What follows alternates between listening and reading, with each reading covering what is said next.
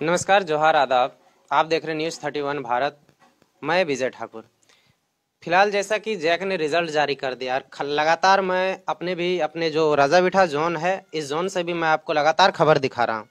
जी, मैं अभी उपस्थित हूँ केड़ो बाज़ार में केड़ो बाज़ार में एक स्कूल है, उत्क्रमित उच्च विद्यालय केड़ो बाज़ार, जिसमें एक बच्ची, यहाँ भी एक बच्ची ने अपने विद्यालय में टॉप की। अपने विद्यालय में टॉप करके विद्यालय तथा अपने परिवार का अपने माता पिता का नाम रोशन की। सबसे पहले आपका नाम बताइएगा।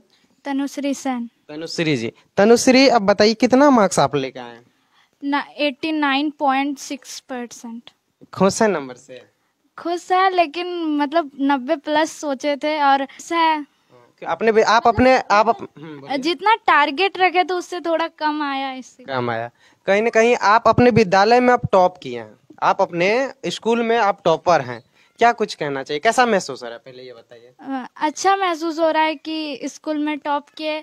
ऐसे तो और ज़्यादा लाने का प्रयास था मेरा मीडिया के सामने। आज आज सबसे बड़ी बात है मैं इनके माताजी और पिताजी भी साथ है। आप देख सीधे देख पा रहे हैं स्क्रीन पर कि मैं इनसे भी जाना आज सर आज ऐसा है कि आज आप अपने बेटी के नाम से पहचाना जा रहे हैं। कैसा लग रहा है आपको? बहुत अच्छा लग रहा है।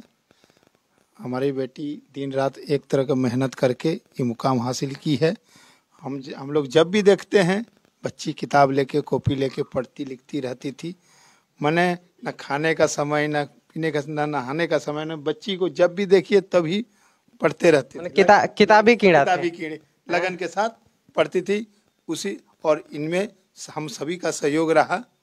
हाँ तो वही बताएगी अब आप बताइए कि जो आप इतना अच्छा मार्क्स लेके आए हैं एक सरकारी विद्यालय से अ, क्या कुछ बताइएगा अपने स्कूल के बारे में? किनका योगदान बहुत ज़्यादा योगदान रहा आपके इस नंबर पे? किसको श्रेय देना चाहते हैं? योगदान तो ऐसे सारे शिक्षक पेरेंट्स सभी का रहा है लेकिन कहीं ना कहीं मतलब सेल्फ स्टडी भी बहुत मायने रखता है। और टीचर ने बस रास्ता बताया कि ऐसे पढ़ो ये करो और बस उसको फॉलो किया। तो सेल्फ स्टडी बहुत ज़रूरी है। तो टीचर रास्ता ही दिखाते हैं बाकी उसका अनुसरण करना फॉलो करना कहीं ना कहीं। उनके इनके चाचा जी भी हैं क्या क्या कहना चाहेंगे तनुश्री के चाचा जी आप? कैसा आपको कैसा फील हो रहा है? फील तो बहुत सुंदर हो रहा है इतना अच्छा रिज़ल्ट और मेरी बेटी ही है। इसका हम जब भी आते थे इनका घर तो हमेशा उसको किताब में ही देखते थे। आते थे वो पानी चाय पिलाती थी लेकिन फिर भी किताब में लग जाती थी। तो हमको लगा कि रिज़ल्ट इसका बहुत सुंदर बनेगा। हमको भी संतुष्टि नहीं है नब्बे परसेंट में। आप एक- डायरेक्शन देते थे मेरा मार्गदर्शन हमेशा रहता था। और इनके मम्मी पापा को मैं ज़्यादा धन्यवाद दूँगा। बच्चे से सबसे ज़्यादा मम्मी पापा को दूँगा कि उन्होंने अच्छा किया मेहनत किया हमेशा समय दिया। घर के घरेलू काम में इन्हें इंक्लूड नहीं किया।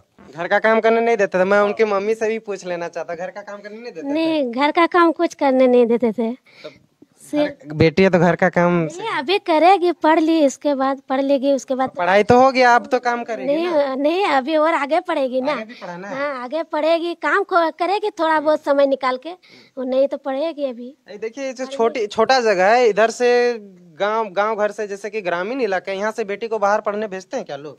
हाँ भेजते हैं जिसका इच्छा होता है हाँ हमको भी तो इच्छा है तो देखिए अब वैसा होगा तो भेजेंगे पढ़ाने। अच्छा आपका ड्रीम क्या है? यूपीएससी क्लियर करना और एक आईएएस ऑफिसर बनना है।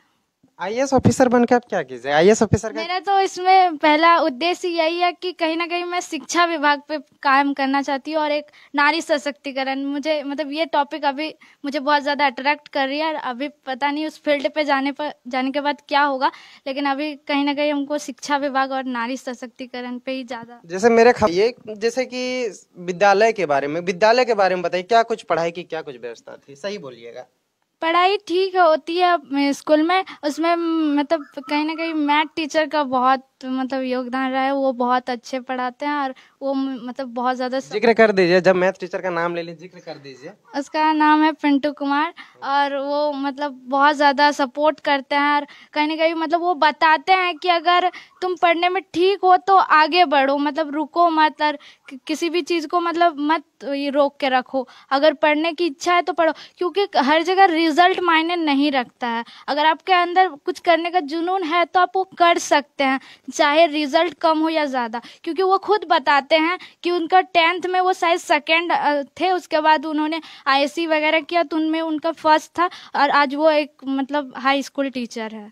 यानी कि आपका कहने का मतलब कहीं ना कहीं रिज़ल्ट मायने नहीं रखता। अगर जुनून हो, सही है, कहीं ना कहीं अगर आपके अंदर जुनून है, अगर आपके अंदर इच्छा शक्ति है तो आप उसे पा सकते हैं। आप आसमान की ऊंचाई को ज़रूर छू सकते हैं। अच्छा क्या कुछ मेहनत रहा आपका? क्या कुछ बताना चाहेंगे हमारे दर्शकों को?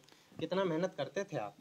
मतलब ऐसे तो मतलब मन में रखते थे कि तीन से चार घंटा तो पढ़ना है रेगुलरली उसके बाद कभी ज़्यादा कोशिश रहता थी कि ज़्यादा से ज़्यादा पढ़े लेकिन तीन चार घंटा रोज़ पढ़ना है और एक टारगेट हमेशा रखना भी चाहिए कि हमें इतना घंटा तो पढ़ना ही चाहिए उसके बाद ज़्यादा हो लेकिन कम नहीं करना चाहिए क्योंकि कम ज़्यादा करने के चक्कर में हमारी पढ़ाई खराब हो सकती है और मतलब संतुलन लेकिन कोशिश मतलब एक टारगेट होना चाहिए कि हमें रोज पाँच घंटा पढ़ना चाहिए आप आप जितना दे सकते हो सबके समझने के तरीके अलग कोई पाँच घंटा में कोई किसी चीज़ को समझता है तो कोई छः घंटे में। तो सबके अलग अलग टाइप होते हैं समझने के। उसी तरह तो जो भी ट्यूशन में या फिर स्कूल में पढ़ाए जाते थे, उसको घर में पढ़ती थी, पहले देखती थी कि आज जो भी पढ़ाया है स्कूल या ट्यूशन में, उसको पहले देखती थी कि कैसा पढ़ाई क्या। अगर मुझे डाउट लगता था कि कहीं ना कहीं मैं ये इसे नहीं समझाऊँ तो मैं थोड़ा बहुत फ़ोन का भी यूज़ कर लिया करती थी यूट्यूब वगैरह से। यानी कि आप इंटरनेट के माध्यम से भी जो कंसेप्ट बचा खुचा रहता है या फिर जो समझ में नहीं आता उसे क्लियर कर लेते थे ये ना? अच्छा करते क्या हैं आप? हम एक सहायक अध्यापक हैं और उत्कृष्ट उच्च प्राथमिक विद्यालय सुंदरा टोला वारिजर प्रखंड में। यानी आप शिक्षक हैं। तो अच्छा। इनका जो मेहनत था वो आप लोग सुने कि इन, इन इन्होंने किस तरह से अपने पढ़ाई का संतुलन बनाए रखा और बैलेंस रखा अपने पढ़ाई को। और बिल्कुल आप लोगों को भी प्रेरणा लेने की ज़रूरत है क्योंकि आप भी पढ़ाई कभी करते हैं मन से करते हैं उसे कंटिन्यू रखना ही चाहिए। तो ये बात सही है कि टाइम मैटर नहीं करता लेकिन होता है ना एक सबका अलग अलग स्ट्रेटजी होता है स्ट्रेटेजी होता है कि वो कितने उस घंटे में उस चैप्टर को उस सब्जेक्ट को सबका कोई सब्जेक्ट आईक्यू लेवल हाँ आई क्यू किसी को मैथ अच्छा लगता है किसी को साइंस अच्छा लगता है इंग्लिश लगता है तो सबका अलग अलग तो उसी प्रकार सब्जेक्ट के अकॉर्डिंग उसका मतलब समझ भी उसी प्रकार होता है तो किसी को जितना समझ आता मतलब टारगेट हमें इसी प्रकार रखना चाहिए कि अगर हम किसी सब्जेक्ट को थोड़ा लेट समझते हैं तो उस पर ज़्यादा फोकस करना चाहिए। जो कम, हम तुरंत समझ जाते हैं, उसे कम टाइम देना चाहिए, हम जितना टाइम में उसे समझ सकते हैं। बिल्कुल, जैसे कि इस बच्ची का बात आप लोग सुने कि इन्होंने अपनी बहुत ही अच्छा अपना मेहनत दिया, अपना हंड्रेड परसेंट दिया, इसलिए आज इसका रिज़ल्ट निखार कर निखर कर आया है। और मैं सबसे पहले तो हमारी जो टीम है न्यूज़ थर्टी वन भारत की टीम आपको सबसे पहले बधाई देता, देती है। थैंक यू हाँ और जो हमारी टीम की तरफ़ से आपको बहुत बहुत बधाई, पूरे परिवार को बधाई। और मैं कहना भी यही चाहूँगा कि जितने भी लोग, जितने भी छात्र छात्राएँ इस, हमारे इस चैनल के माध्यम से इस वीडियो को देख रहे हैं तो आप सबों को भी अच्छी मेहनत करने की ज़रूरत है, अच्छी पढ़ाई करते हैं। तो आपका भी रिज़ल्ट निखर कर आता है, आप भी अच्छा प्रदर्शन कर सकते हैं, आप भी अपने क्षेत्र का, अपने माता पिता का, अपने स्कूल का नाम रोशन कर अच्छा नारी सशक्तिकरण करण के बारे में आप बोले कि क्यों? आखिर उनके उनके, उनका मुद्दा क्यों उठाए क्यों, क्या मतलब क्या उद्देश्य है आपका? यहाँ तो देख रहे हैं कि नारियाँ भी बहुत आगे बढ़ रही है, सबका अच्छा ही रिज़ल्ट आ रहा है, हर क्षेत्र में लड़कियाँ आगे, लेकिन कहीं कहीं कहीं ना कहीं लड़कियाँ भी मतलब दबी रहती है, और खासकर गाँव घर की लड़कियाँ वो मतलब मतलब वो निकल नहीं पाती है, वो वो खुद से यही सोचती है कि वो कुछ कर नहीं पाएगी, वो मतलब खुद से कभी ये फील ही नहीं ला पाती है कि हम भी आगे चल के कभी कुछ कर पाएँगे। वो बस बचपन से अगर गाँव घर में कोई स्कूल है तो पढ़ लेती है, अगर नहीं है तो वो भी नहीं करती है। यहाँ अगर हम अपनी ही गाँव की बात करें तो यहाँ भी देखते हैं कि टेंथ के बाद ना सब कोई मतलब सब कुछ बंद कर देता है।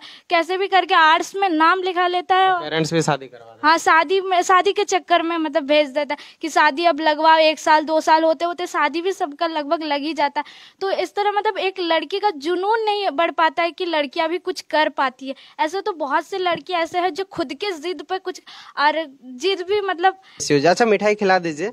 देख देख ले सकते हैं कि खुशी का माहौल है, उनके जो माता पिता है, उनके चाचा जी हैं, वो सब मिलके अपनी बच्ची को मिठाई खिला रहे हैं, भला